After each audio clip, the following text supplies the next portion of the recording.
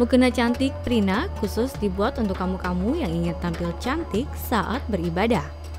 Mukena ini dibuat handmade loh. Bahan yang digunakan untuk mukena Prina berbahan dasar katun Jepang yang lembut dan dingin saat dipakai.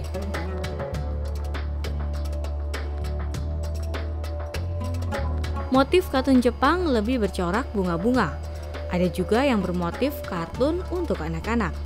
Nah, jika Bunda ingin tampil samaan dengan buah hati tercinta, Prina bisa menyediakan desain yang sama persis dengan yang Bunda kenakan. Prina didirikan sejak tahun 2011. Kini Nur Prihantini, pendiri mukena Prina dibantu oleh tiga penjahit untuk memproduksi mukenanya. Produk saya lebih dari tidak hanya sekedar mukena saja. Yang pasti sekarang alhamdulillah saya juga sudah berkembang menjadi uh, kerudung dan gamis tapi karena mungkin karena keterbatasan modal ya karena perputarannya kan uh, cukup besar. Jadi uh, gamis saya sudah restock uh, kal uh, maaf kalau kerudungan saya sudah restock tapi kalau gamis masih made by order saja. Jadi harapan saya alhamdulillah dengan bergabungnya di Pertamina usaha saya semakin berkembang dan muncul ide-ide kreatif saya untuk lebih mengembangkan usaha saya.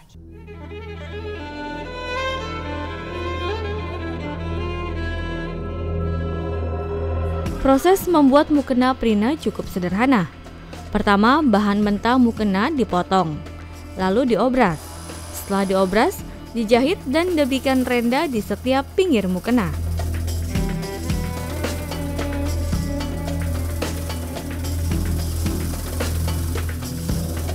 Saat ini penjualan mukena Prina melalui online shop. Harga jual untuk mukena anak Rp200.000, sedangkan untuk dewasa seharga Rp250.000.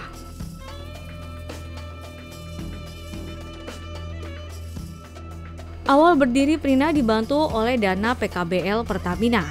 Nah, selama 4 tahun berdiri, kini Nur Prihantini bisa mendapatkan omset sebesar 5 juta sampai 20 juta per bulan.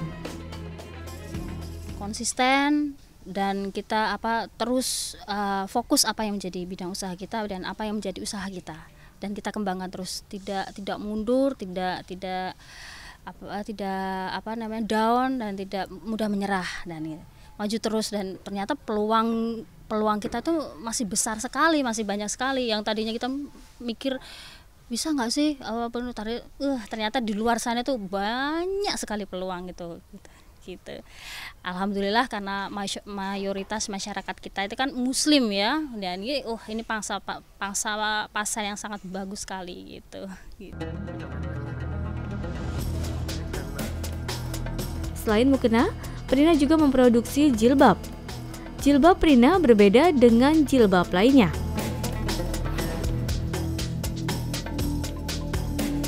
Bedanya memiliki belahan di tengah. Fungsi belahan ini untuk membentuk siku di pinggir bahu agar terlihat menyiku dan bergelombang. Tentunya terlihat cantik saat dikenakan. Tim Liputan Pertamina TV